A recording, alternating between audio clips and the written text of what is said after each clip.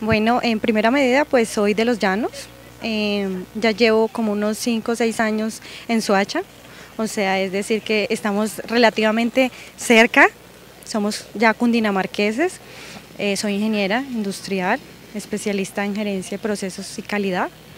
Em, me he desempeñado en cargos públicos, privados también. He estado con empresas públicas de Cundinamarca, he estado con la Superintendencia de Vigilancia y Seguridad Privada em, y con el sector privado en el tema de mantenimiento, montajes y todo el tema de desarrollo industrial. Bueno, ingeniera, llega al Rosal con nuevos retos porque se enfrenta a grandes retos como el tema del plan maestro de acueducto de alcantarillado. Cuéntanos un poco acerca de ese tema, cómo va, cómo va el tema de recepción de recursos para esta gran obra.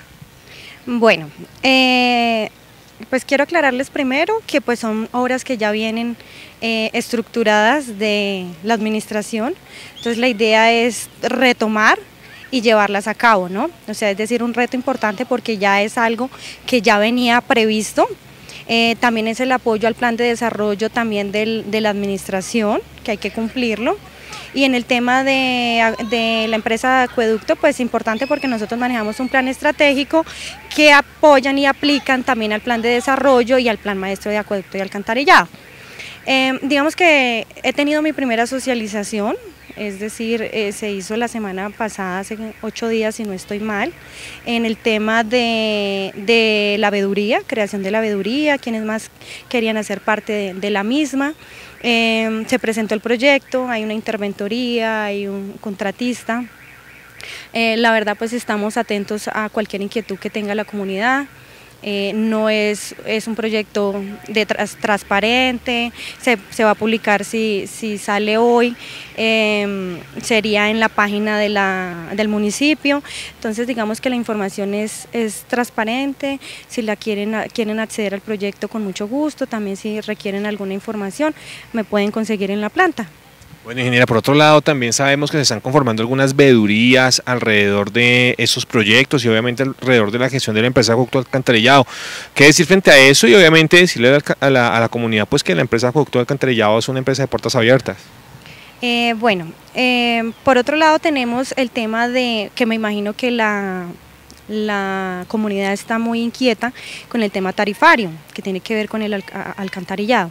Eh, digamos que de una u otra manera no es algo que eh, vengamos a imponer o de pronto no se creerán que pues la llegada de un nuevo gerente sea de pronto esos cambios tan drásticos, pero realmente eh, somos regulados por la Comisión Nacional CRA, de acueducto y alcantarillado y pues nos tenemos que alinear a, la misma y tenemos que cumplir en su, en, su momento, ya que esto puede acarrear o, con, o dar connotaciones, digamos, contenciosas administrativas, multas y en su defecto pues son temas que después van a salir prácticamente del bolsillo de cada uno de nosotros.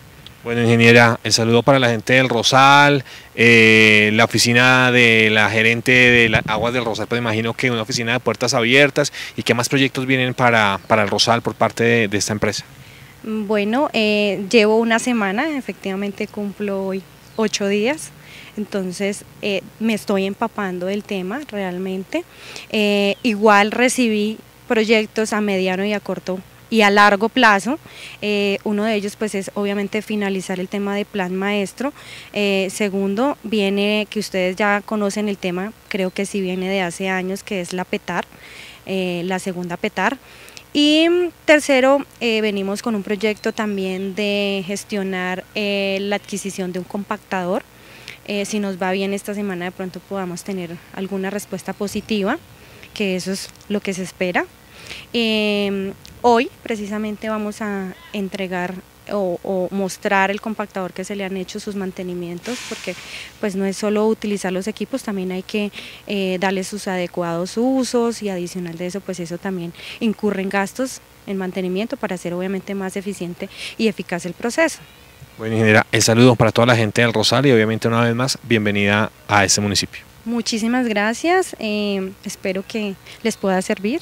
Eh, estoy atenta en la planta eh, y nada, pues cualquier cosa que yo les pueda colaborar, allá estoy atenta y que podamos trabajar de la mano. Esto se hace en trabajo en equipo. Bueno, ingeniera, hablando de tecnología y hablando de herramientas para el Rosal. Vemos aquí nuevamente el compactador que hace unos días estaba en reparación, hoy se hace entrega al municipio. Sí, efectivamente. Eh, se hizo un convenio con la alcaldía con el fin de fortalecer el servicio de aseo y poder lograr una ampliación y cobertura en el mismo servicio. Entonces hicieron un, el convenio y por ende un contrato en el cual incluía la reparación del compactador y con el fin de mejorar el servicio y volver a la normalidad y volver a hacer las rutas que teníamos anteriormente para el tema del aseo.